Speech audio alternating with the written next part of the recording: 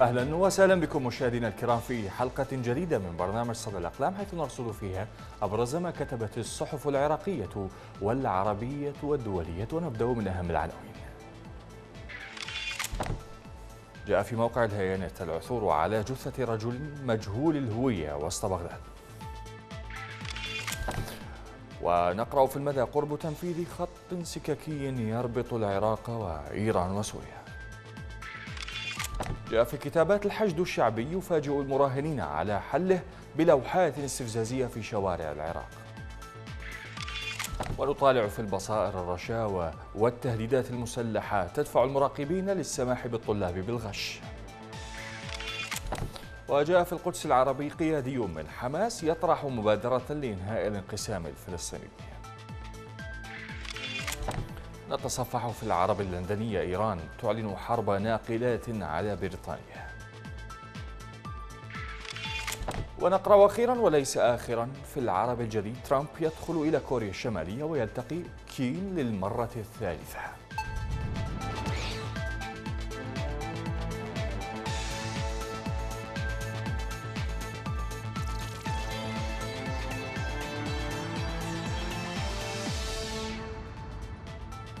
أهلا بكم. الحديث عن الحشد الشعبي في العراق من الملفات الحساسة لأن العديد من الأطراف والقوى المنتفعة من هذا الكيان ترفض وبشدة الاقتراب من توصيف هذه القوات بالميليشيات والحشد.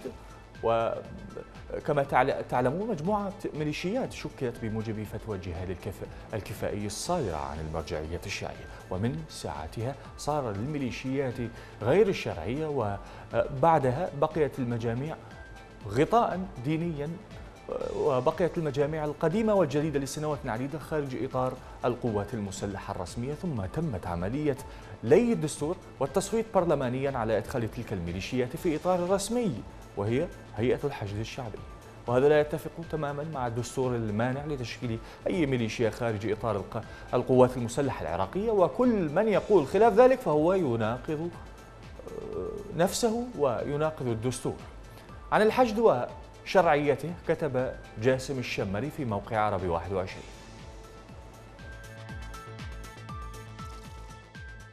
يردد المدافعون عن الحشد أن البلاد كانت في مرحلة ما بعد عام 2014 في حالة فوضى وبحاجة إلى قوات داعمة للجيش الحكومي المنهار في الموصل والأنبار وغيرهما من المدن.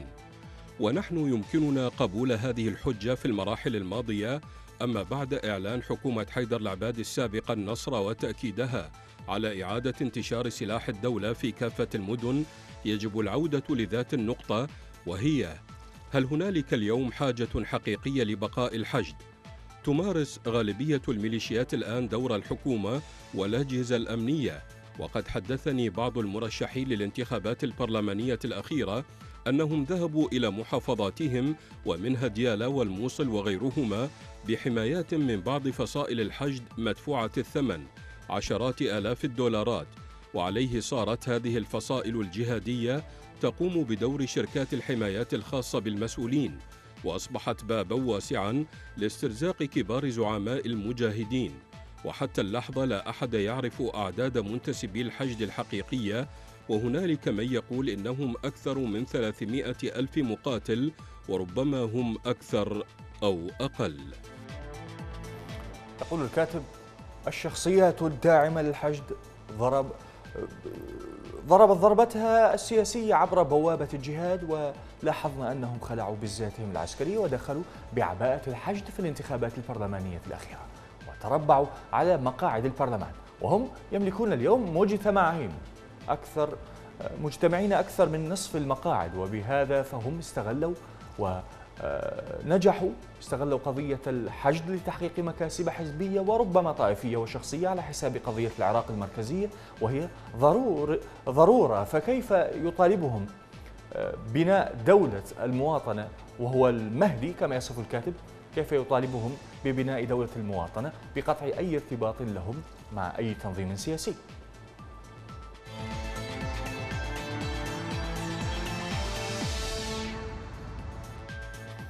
النظام الإيراني منذ بداية ثورته يتصرف وفقا لعقيدة مذهبية كانت بالنسبة إليه الغطاء الأمثل لتحقيق الأحلام الإمبراطورية التي جسدها بنظام سياسي وعلاقات دبلوماسية تحركت وفق آلية النظم الدولية بهذا المعنى يكون مفهوم السلطة معبرا ومعبرا في نفس الوقت لتنفيذ أجندته وتحشيد القوة العددية لمجموعات طائفية تدرك جيدا عمق غايات النظام وتكون عادة مستعدة للانغماس في تأدية ما هو مطلوب منها وهي معصوبة عن الميليشيات والبصر والبصيرة في العراق. هذا ما كتبه كاتب الكاتب حامد الجيلاني في صحيفة العرب اللندنية. الاكتشاف حاصل الآن في خرق سيادة العراق وقراره الوطني من قبل الميليشيات الإيرانية التي تحمل جنسية العراق وهوية مواطنيه وبما تندفع إليه من انتقادات للحكومة وتدابيرها.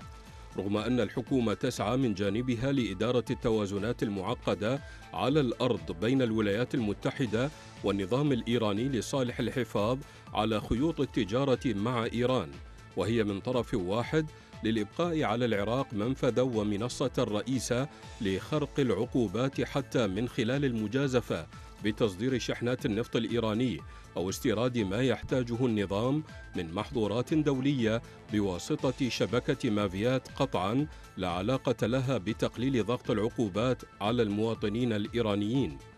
لماذا تلجأ ميليشيات الحشد الشعبي إلى إحراج الحكومة؟ رغم أن كل الأطراف تؤدي ما عليها من واجبات لخدمة ولاية الفقيه ومن جوانب متعددة.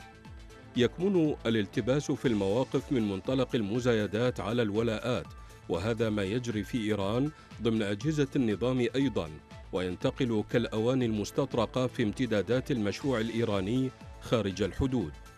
والخلاصة في هيكلة النظام الذي يقوم على مبدأ دولة الميليشيات التي تعتمد الإذعان والرقابة على مكوناتها لعدم الثقة ومنها التسليم بحقيقة ولاء حكومة العراق وباقي مفترقات عناوين السلطة إلى تنظيم الدولة الإيرانية.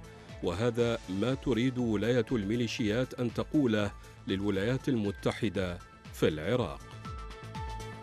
ما يقال عن حصر السلاح بيد الدولة في العراق صار في ضوء الإصدارات الجديدة بدمج ميليشيات الحشد الشعبي بالقوات المسلحة النظامية صورة صريحة المعالم لتحويل القوات المهنية إلى حرس ثوري في خدمة ولاية الفقيه وهو ما حصل في إيران منذ زمن طويل.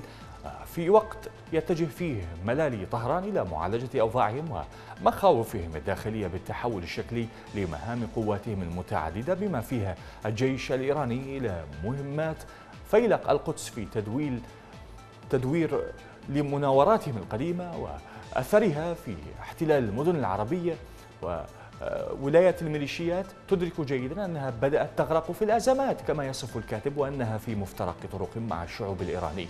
وهذا يمتد إلى حال الأحزاب في العراق مع واقع النظام السياسي حيث بدأت بعض الأحزاب والزعامات بالقفز من المشروع الإيراني إلى مشروع المناورة لاستجداء العلاقة مع الشعب.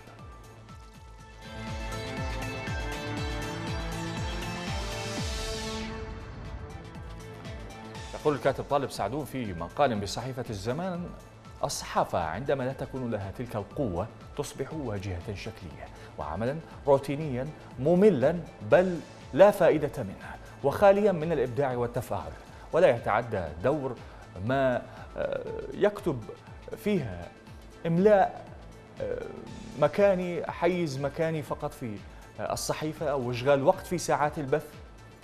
هكذا يتساءل الكاتب أليس ذلك حال كل من كتب عن الكهرباء على مدى سنوات وتعاقب حكومات وتوالي الفصول ما بين اعتدال تسمع فيه ووعود وأمنيات تتبخر مع حرارة الصيف اللاهبة وتتحول إلى أعذار وتبريرات ملت الأسماع منها.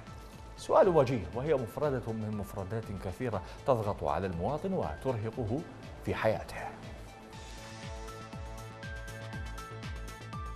لم تنهي الكتابة على مدى تلك السنوات معاناة المواطن وتضغط على الوزارة لتلبية حاجته المنزلية المتواضعة من هذه الحاجة الأساسية وطي صفحة المولدات الأهلية ورفعها من الشوارع واستنزافها لدخل المواطن البسيط. فمتى تحل هذه الأزمة؟ ويكون للكهرباء دورها الوطني في الاقتصاد وتحريك عجلة الإنتاج في المصانع والمزارع وما يتبع ذلك من تطور ونهوض وعمل وتخلص من أمراض وظواهر خطيرة تنتشر بفعل البطالة.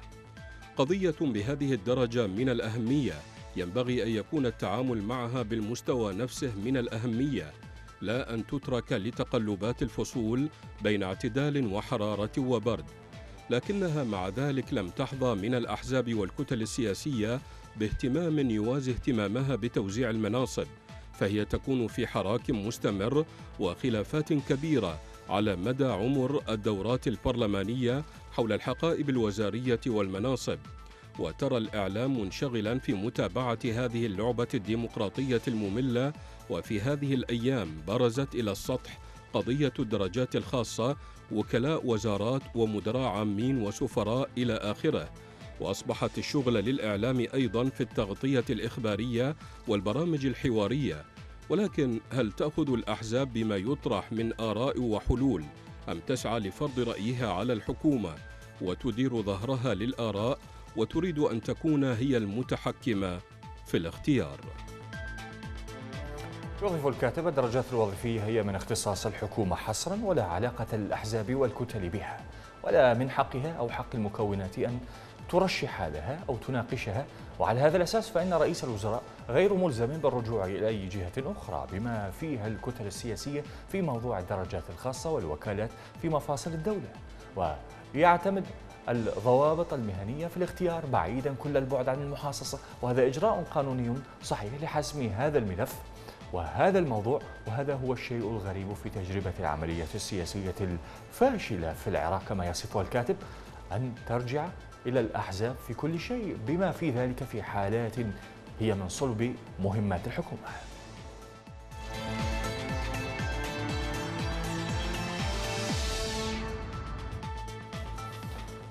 جاء في كتابات الموضوع الذي يشغل جزءا من اهتمام السياسيين والرأي العام في نفس الوقت في هذه الأيام هو مدى مشروعية عمل الحكومة الحالية بعد أن تجاوزت السقف الزمني الذي حدده قانون الموازنة الاتحادية لسنة 2019 حيث نص على وجوب إنهاء العمل بالوكالات في المناصب الحكومية وإمهال الحكومة لتنفيذ نص هذه المادة واجبة التطبيق. ورغم أن أغلب المناصب في الدولة والتي يبلغ عددها أكثر من خمسة آلاف تشغل بالوكالة إلا أنها بقيت على حالها أو استبدلت بوكلاء آخرين رغم انتهاء الموعد. مما دعا الحكومة لتمديد هذا الموعد والتمديد من وجهة نظر أغلب البرلمانيين وأصحاب الخبرة في القانون غير قانوني بحسب الكاتب باسل عباس خضير في مقاله بموقع كتابات.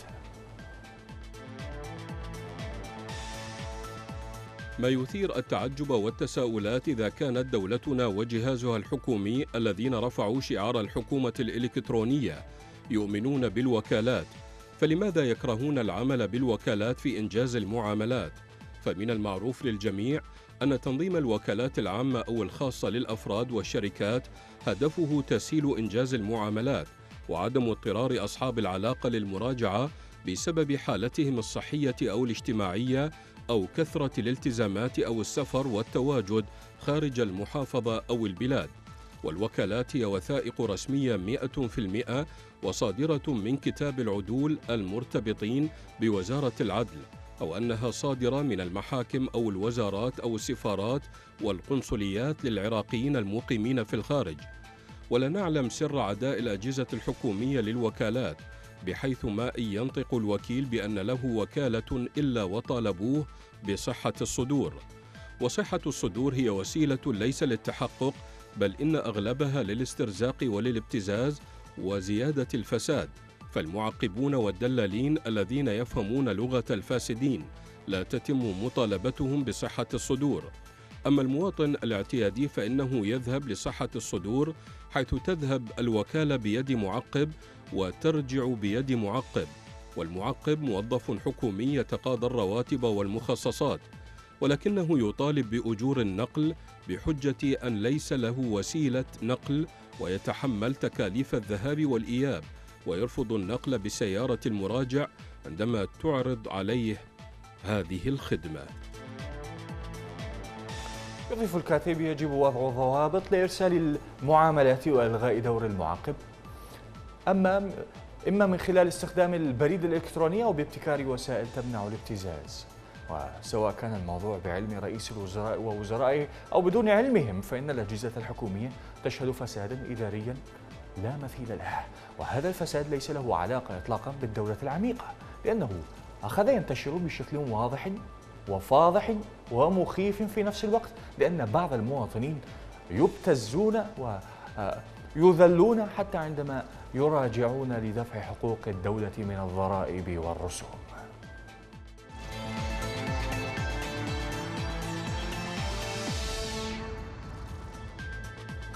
أصبح اليمين الشعبوي المتطرف في أوروبا والغرب عموما حقيقة اجتماعية وسياسية واقعة حتى أن رئيس الدولة العظمى دونالد ترامب يردد بعض الأفكار التي يصدح بها هذا اليمين بخصوص الهجرة واللاجئين والعلاقة بين الثقافات ولم يكتفي بالمواقف المعلنة بل قرنها بإجراءات للتضييق على قدوم مواطني دول إسلامية إلى الولايات المتحدة.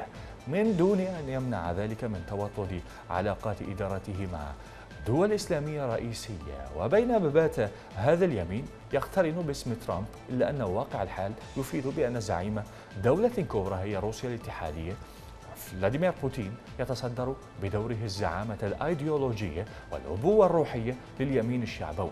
وقبل أيام نعى الليبرالية الغربية وقيمها ونوه بأهمية التيارات الشعبوية موحيا ومتنبئا بأن هذه التيارات هي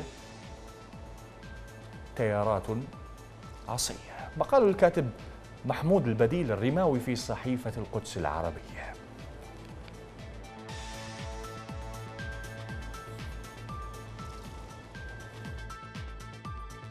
خرج بوتين بتصريحات ليفند أي شراكة مع الديمقراطيات الغربية في نعيه الليبرالية وفي مناصرته الشعبوية المتطرفة حزب روسيا الموحدة الذي يقوده بوتين.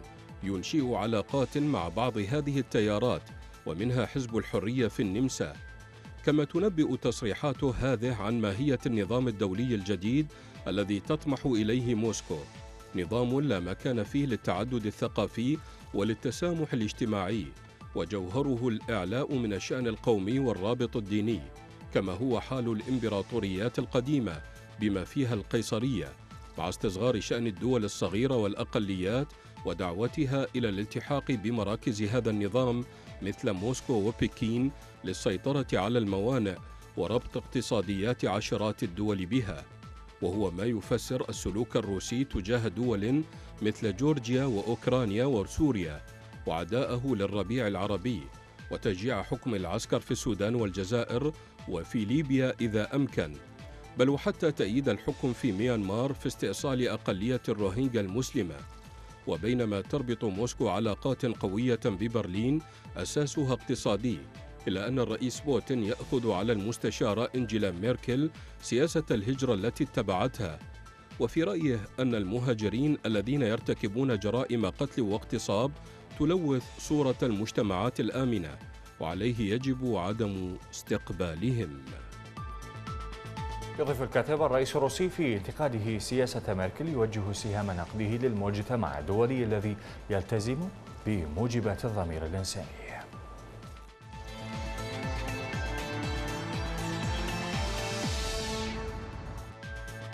نقرأ في القدس العربي تظاهرات إسرائيل منذ اليوم الأول للثورة السورية بأنها مع انتفاضة الشعب السوري وإسقاط النظام وقد تعاطف إعلامها مع المتظاهرين السوريين وكان بين الحين والآخر يفضح همجية الجيش السوري ووحشيته في التعامل مع السوريين الثائرين.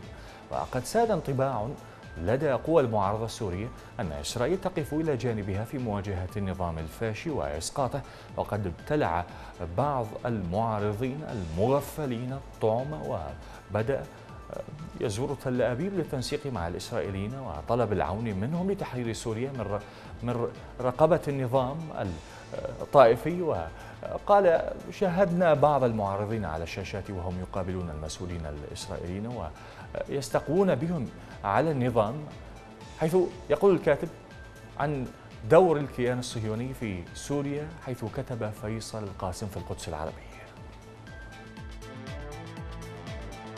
إسرائيل هي من أوعزت للروس والميليشيات الإيرانية أن تتدخل في سوريا في اللحظة المطلوبة لإنقاذ النظام وتدمير قوى المعارضة.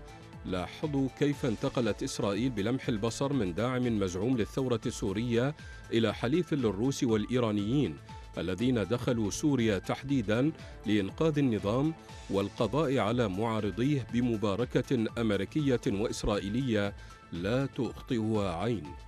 هل يستطيع أحد في العالم أن يدخل سوريا من دون إذن إسرائيلي؟ هل وصل قاسم سليماني إلى بحيرة طبرية لمواجهة الثوار السوريين دون أن تراه إسرائيل؟ بالطبع لا، بل إن إسرائيل هي من أوعزت للروس والميليشيات الإيرانية أن تتدخل في سوريا في اللحظة المطلوبة لإنقاذ النظام وتدمير قوى المعارضة. والسؤال البسيط الذي لابد من طرحه هل كانت إسرائيل لتسمح للروس والإيرانيين أن يدخلوا سوريا بكل قواتهم لدعم الأسد لو كانت إسرائيل فعلا تريد إسقاط النظام؟ بالطبع لا لقد قالت روسيا إنها جاءت إلى سوريا تحديدا لمواجهة الإرهابيين وفي اليوم التالي وجدنا الروسي ينسق كل خطواته في سوريا مع الإسرائيلي بحيث قال وزير الدفاع الإسرائيلي ليبرمان وقتها إن إسرائيل تنسق مع روسيا على مدار الساعة. كيف تكون إسرائيل عندئذ حليفة للفصائل السورية؟ وفي الوقت نفسه تنسق مع الروس لحظة بلحظة للقضاء على تلك الفصائل. وفعلا قالت إسرائيل كلمتها في الاجتماع التاريخي الذي ضم مستشاري الأمن القومي لكل من روسيا وأمريكا وإسرائيل. ما الحب إلا للحبيب الأول؟ هكذا قالتها تل أبيب. نحن مع بقاء النظام وربما إعادة تأهيله ولن نسمح لأي قوة خارجية أن تبقى في سوريا بعد أن أنجزت المهمة التي طلبناها منها كإيران مثلا. وهي حماية النظام من السقوط وتأجيج الوضع المذهبي في سوريا بين الشيعة والسنة حيث قالتها إسرائيل بالفم الملآن انتهت مهمتك يا إيران. في سوريا ولا بد أن تغادري قبل أن نبدأ بتهشيم ميليشياتك وقواعدك في جارتنا سوريا.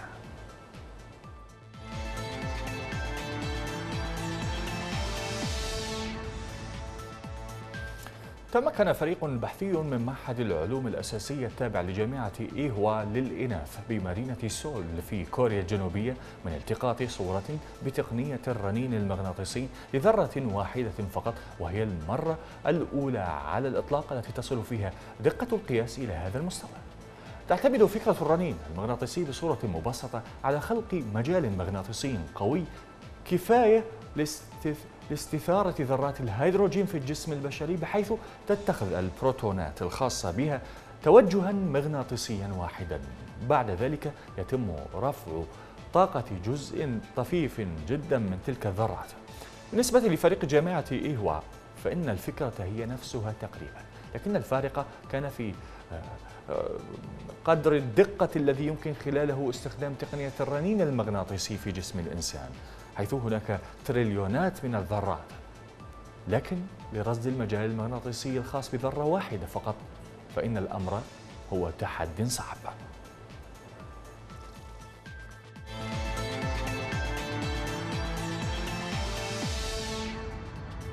متابعة ممتعة مع الكاريكاتير.